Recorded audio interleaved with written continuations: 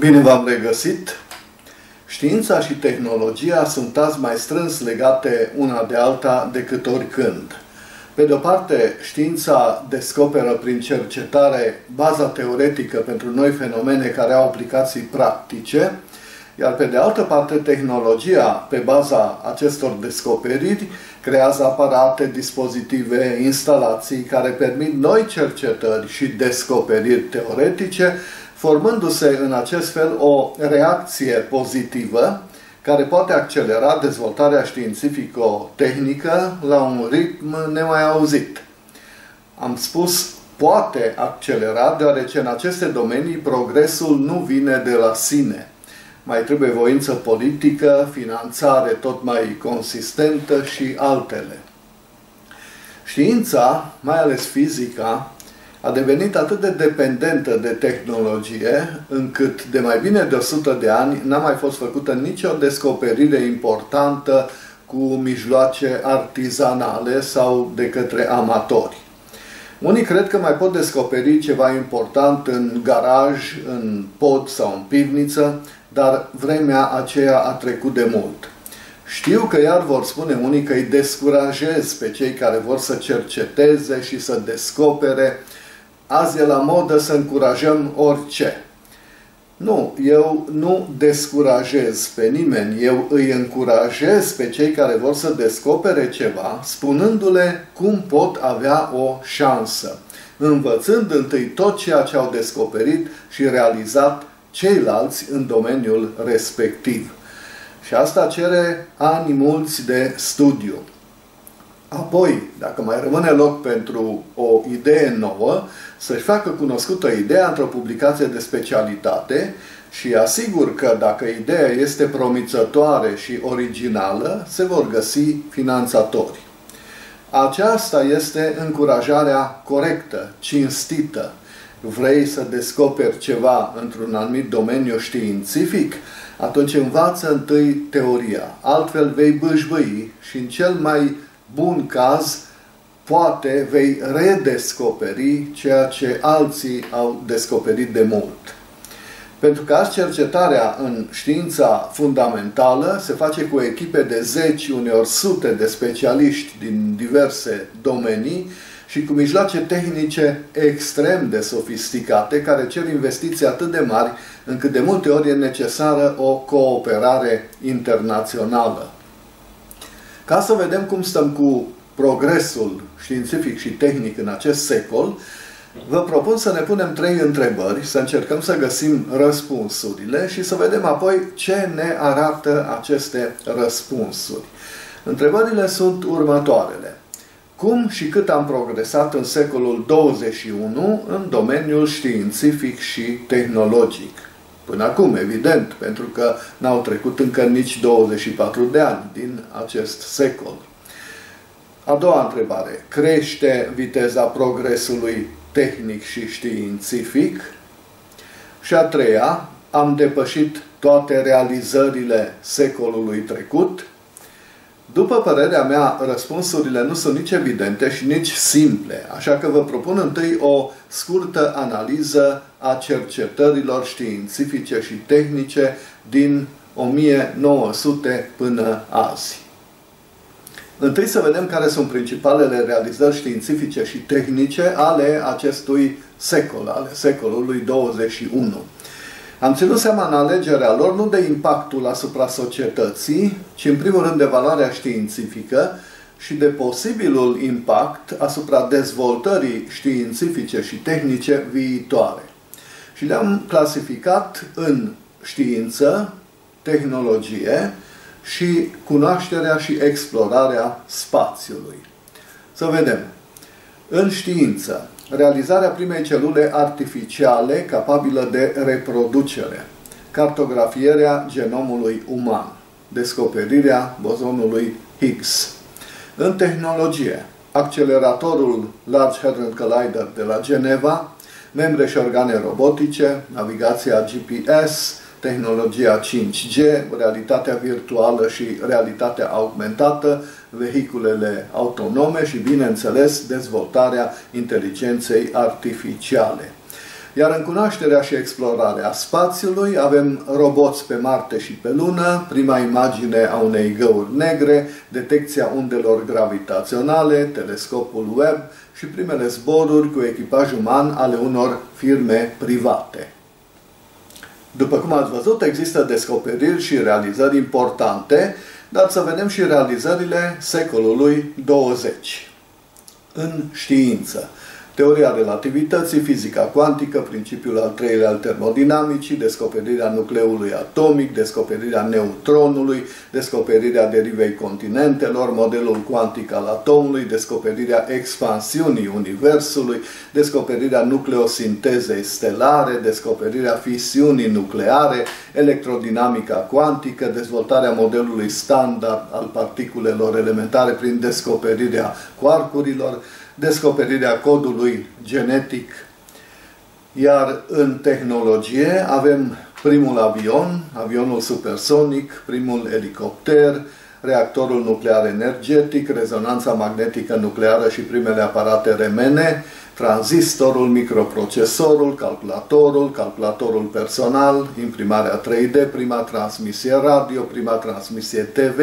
primii sateliți de telecomunicație, supraconductibilitatea, telefonul mobil, crearea internetului, filmul sonor, automobilul electric, primii roboți, descoperirea antibioticelor, radarul, primele transplanturi de organe interne, laserul, tehnologia touchscreen, primele materiale plastice, prima clonare a unui animal, prima metodă de terapie genetică, și mai avem în cunoașterea și explorarea spațiului, descoperirea altor galaxii, primul satelit artificial al Pământului, primul om în cosmos, detecția radiației cosmice de fond, primele sonde spațiale de explorare a planetelor sistemului solar, aselenizarea a 12 oameni, observarea primei planete din afara sistemului solar.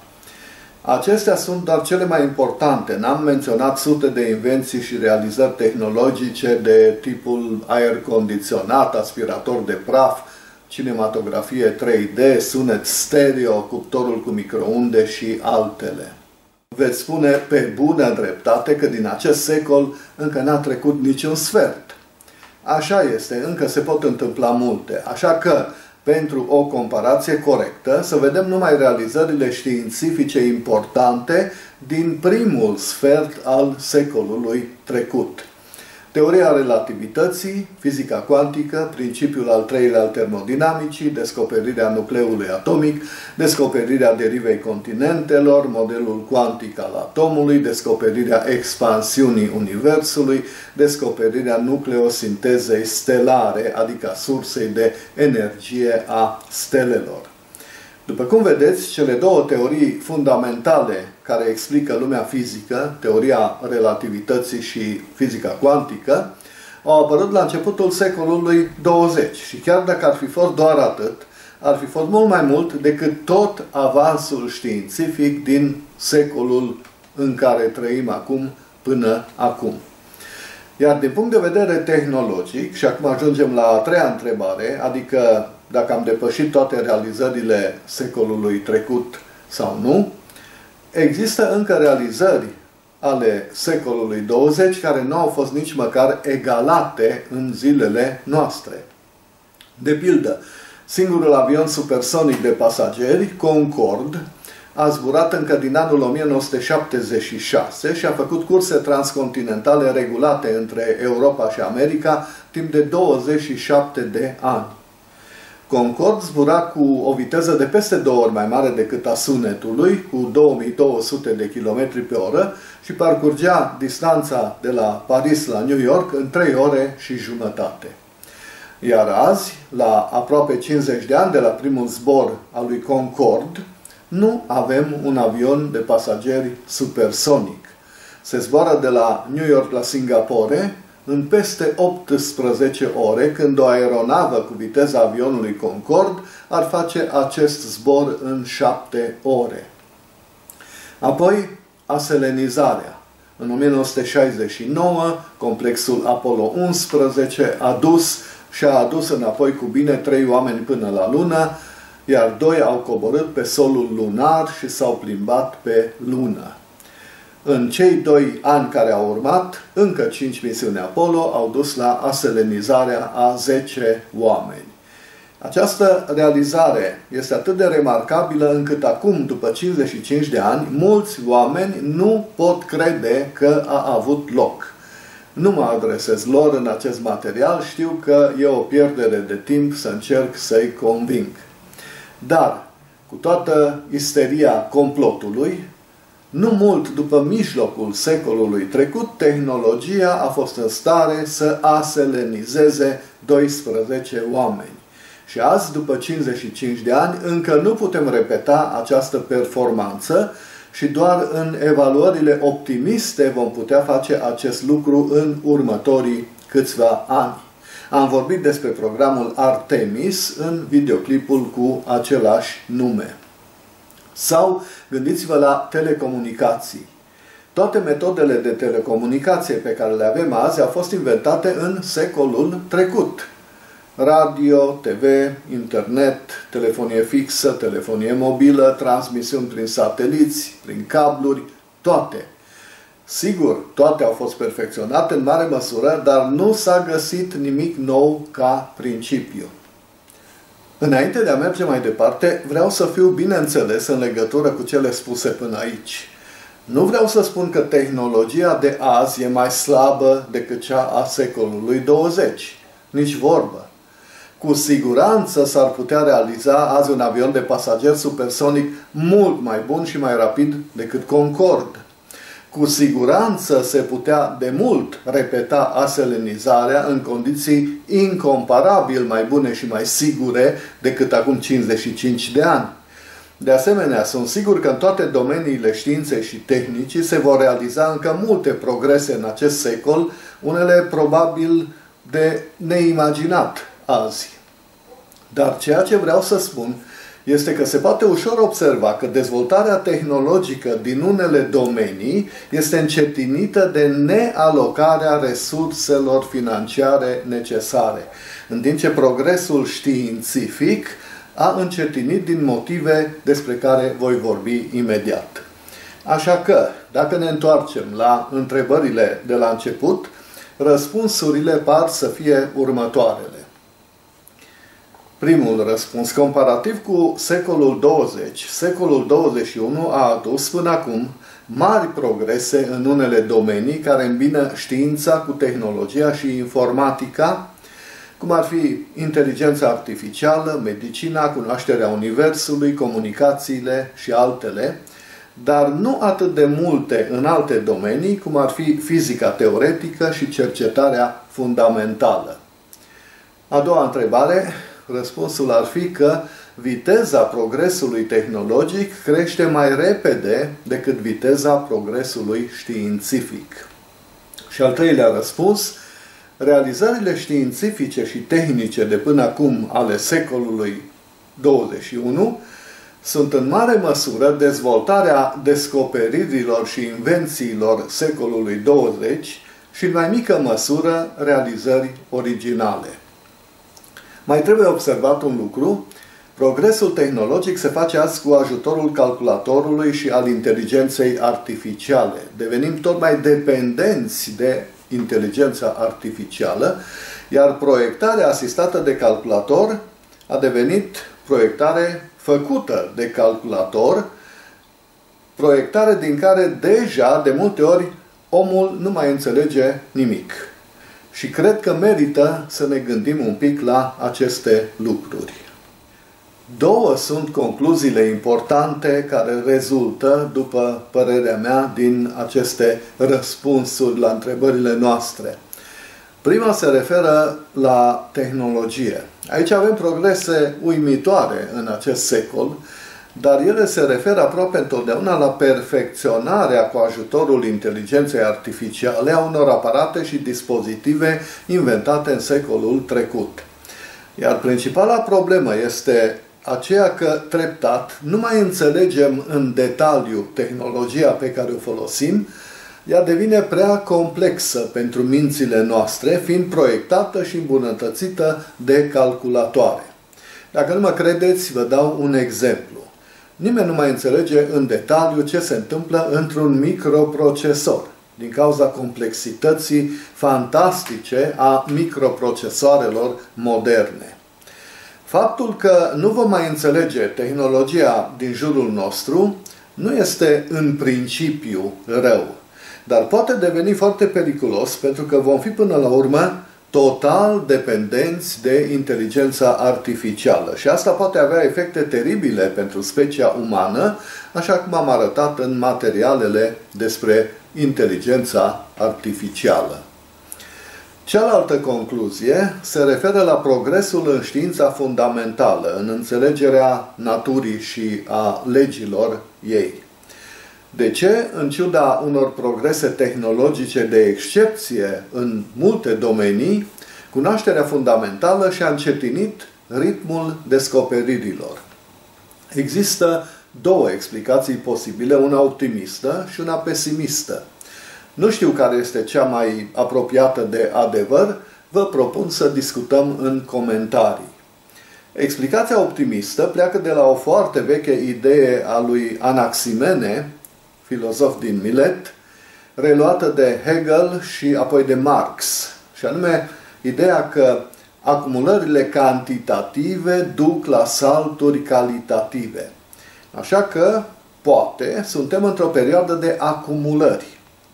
Dezvoltăm tehnologii, inteligență artificială, aparate tot mai complexe de observare a Universului și instalații experimentale tot mai sofisticate, cu ajutorul cărora acumulăm cunoștințe, iar la un moment dat aceste cunoștințe noi vor duce la teorii noi sau la dezvoltarea și generalizarea teoriilor existente. Și apoi aceste noi teorii vor produce poate o nouă explozie de realizări tehnologice, invenții și descoperiri științifice, așa cum s-a întâmplat în secolul 20. Din păcate, există, așa cum am spus, și o explicație pesimistă. Aceasta presupune că ne apropiem de limitele cunoașterii umane, fie din cauza faptului că cercetarea fundamentală este tot mai scumpă și începe să depășească resursele civilizației noastre, fie din cauza faptului că există o limită a capacității de înțelegere a creierelor noastre fie din amândouă motivele. Dacă nu credeți că există resurse financiare tot mai reduse, vă dau și în acest caz un exemplu. NASA a cheltuit din 1960 până în 1973, când programul Apollo a fost finalizat, peste 50 de miliarde de dolari, sumă care, actualizată cu rata inflației, ar fi azi de aproape 600 de miliarde de dolari. În ultimii 10 ani, NASA a avut o finanțare medie anuală de aproximativ 20 de miliarde de dolari, ceea ce înseamnă că trebuie vreo 30 de ani ca să se ajungă la sumele cheltuite în cei 12 ani care au dus la aselenizare. Această reducere a finanțării în domenii cum ar fi cercetarea spațiului nu se manifestă doar în America. Sigur, există și excepții, dar problema rămâne deoarece statele care își permit o finanțare mai mare trebuie să redescopere multe lucruri pe care SUA și URSS și mai târziu Rusia le cunosc de multă vreme. Această reducere a finanțării apare pentru că omenirea se confruntă cu probleme foarte dificile, care devin tot mai grave și mai presante pe măsură ce trece timpul, iar rezolvarea lor presupune alocarea unor resurse financiare și materiale fantastice. Printre aceste probleme se numără încălzirea globală, poluarea, suprapopularea, radicalizarea divizării ideologice a lumii și altele. Oare suntem o specie destul de inteligentă ca să rezolvăm aceste probleme? A doua parte a explicației pesimiste a încetinirii progresului științific ar fi aceea că ne apropiem de limitele capacității noastre de înțelegere. Dar de ce ar exista o limită a capacității noastre de cunoaștere? Asemenea unui calculator, creierul are și el resurse limitate. Așa cum un calculator nu poate face unele lucruri din cauza limitărilor hardware, nici creierul nu poate înțelege totul. Una dintre limitările pe care abia acum începem să le înțelegem este legată de faptul că noi nu studiem realitatea fizică direct, ci prin intermediul realității noastre subiective. Iar unele categorii despre care vorbim sunt doar moduri în care creierul se raportează la realitatea fizică. De pildă, nu putem defini noțiuni fundamentale, cum ar fi spațiul și timpul, poate pentru că acestea există doar în mintea noastră. Se pot oare depăși limitele pe care creierul însuși le impune în înțelegerea naturii, a Universului, sau ne-am apropiat de limita cunoașterii umane? Nu știu.